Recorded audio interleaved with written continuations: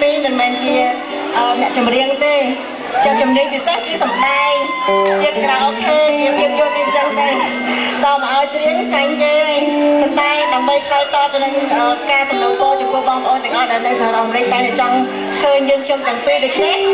ខំហាត់បុតរដំហាត់ច្រៀងឲ្យបាន4 5បទអញ្ចឹងទៅដើម្បីមកជួបជាមួយបងប្អូនចា៎បាទសូមអរគុណហើយលើពីនេះទៀតក៏សូមថ្លែងអំណរគុណបងដែរព្រោះមិញនៅខាងក្នុងលី សូបងប្រុសក៏ដូចជាបាទអ្នកនាងអឹមត្រីពៅបាទហើយ